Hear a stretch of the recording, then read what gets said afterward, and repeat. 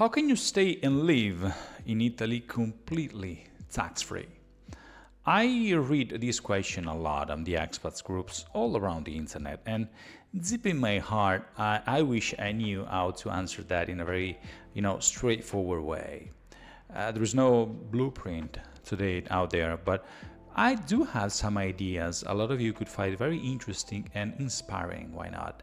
Uh, the famous 183 days principle, you know, just to begin with the most common one, uh, gives you a lot of space to maneuver. This six months window per year, regardless of your citizenship or visa or legal permission to stay, that allows you to stay longer than 90 days, um, seems like a very good fit for those who spend time here and there across two or several countries.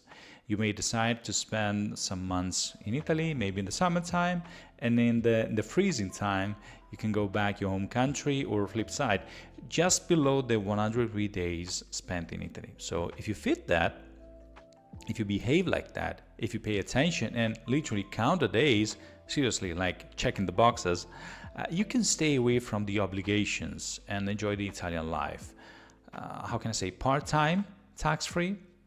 Now, let's think of those who are running through the hard task of becoming Italian citizens. Well, no worries, since citizenship per se uh, doesn't trigger any tax liability in Italy. However, if you're required to sign into the anagrafe of your municipality in order to obtain that certificate, well, you have to be aware that if your name is listed in that registry of the permanent population for more than six months, so once again, more than 103 days, automatically you become a tax resident.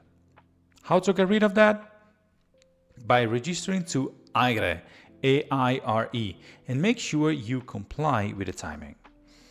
Let's stretch the logic now. Let's say you spend 190 days in Italy every year in a calendar year basis, or your name is registered to the anagrafe for the same period of time. Is there a way, a legal way, to stay away from the tax return process and fiscal obligations? Yes and no. Don't get me wrong, it's a, it's a very messy and delicate discussion to have. Um, strictly by the book, domestic Italian rules work very often by assumptions. If you do X, then Italy considers Y and so on. So even the 103 days principle leaves some space for a noted uh, documentary evidence a ruling that you as an individual have to win and motivate yourself to prove your tax residency is elsewhere.